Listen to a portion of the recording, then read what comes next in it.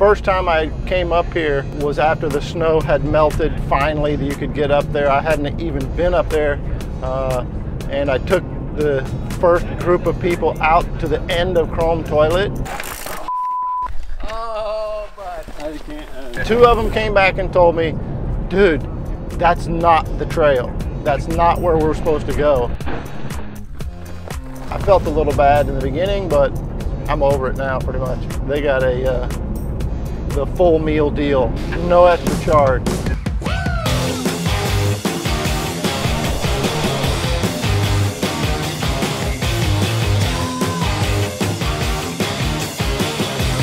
Welcome, thanks for tuning in for an episode of our e-bike destination tour where we will be highlighting communities and trails that are allowing and accepting e-bike access. Come along, let's go for a ride in Oakridge, Oregon.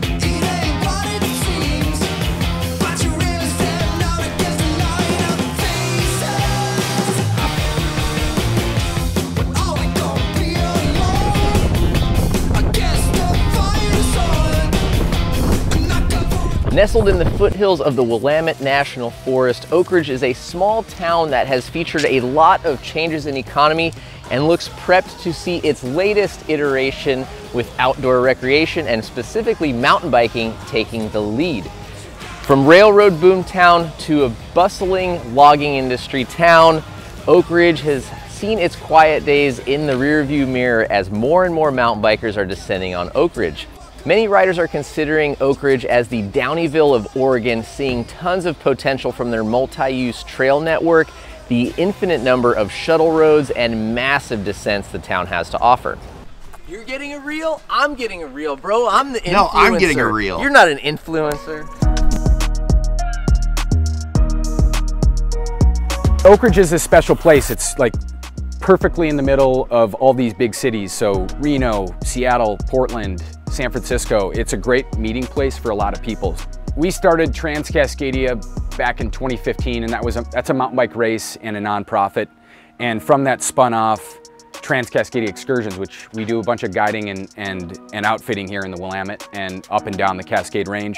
When we came here, we started shuttles and mountain bike shuttles here are great, but you also need a place to stay and a place to hang out with friends. So we've got this big project. It's it's kind of a big campground that we're creating and we'll have a cafe, we'll have a pavilion, we'll have bocce.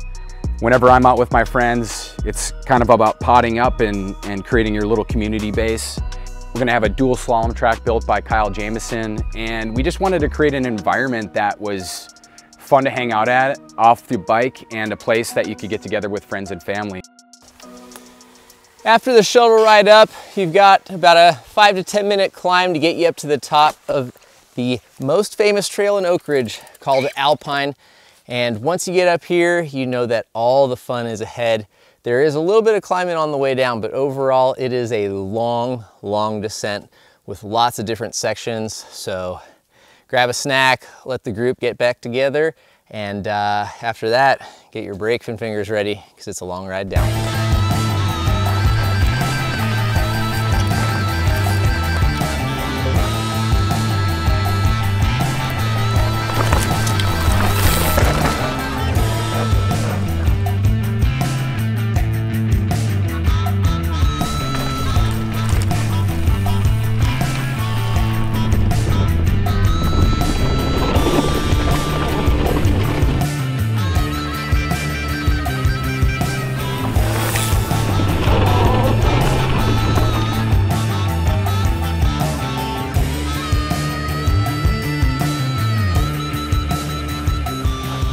Told you guys this was a long way down. I don't even think this is officially the halfway spot or not, but either way, everyone treats it as the halfway spot because you've got a beautiful overlook, some nice rock that is usually in the shade, and uh, this is the spot where you'll see 10 or more people gathered up, hydrating, eating a snack, and enjoying the view. And that's what we're about to do right now before we finish this downhill. So over the last century, Oakridge has seen a huge change, again, from once being a railroad boom town with the Southern Pacific running through, then seeing a massive boom thanks to the logging industry.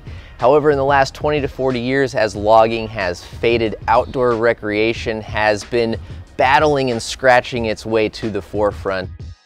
Oakridge is a small and sleepy town, and while there have been lots of new places to eat and businesses popping up as riders and visitors have grown in numbers, it is still something that you're going to want to consider looking at before you plan your time of week to travel. One of those new businesses is the three-legged Crane Brewery and Pub, which is a place many riders come for post-ride refreshments and food. Um, John Crane, Oakridge, Oregon, uptown. All right. Yep. And you are the proprietor of Yes. this business? Yeah. Me, my wife, and my son, so we're all the three legs of the crane. We took over the pub in 19 and then I actually purchased it in um, January of 2020. Okay. And are you a mountain biker yourself? I am. Okay. Yep. And uh, as a business owner and someone who's lived in Oakridge here for a while, have you seen a change in the town, uh, the number of mountain bike visitors that are coming, and, and what does that mean for you as a business owner? Yeah, substantially. Um, so I've actually been up here for about 15 years, so I've seen the pub from day one almost. And it always had a mountain bike following, but it was more of a best kept secret for the first 10 years or so. In the last five years, it's become much more of a destination point for people from all over the world. Like it's not uncommon to sit out front on the patio and hear voices from Switzerland and tons of Canadians come down because it's so close and Germany and New Zealand. We have this odd connection with New Zealand where there's a few people that live here that commute back to New Zealand for, you know, they spend terminal summer kind of thing. Yeah, yeah. Yeah, so it's definitely um, the people that a lot of the people that live in the area built a lot of the trails. So there's a huge trail system um, support system up here, and we have like two or three different um, trail building um, teams that come up here and work on things from all over the area.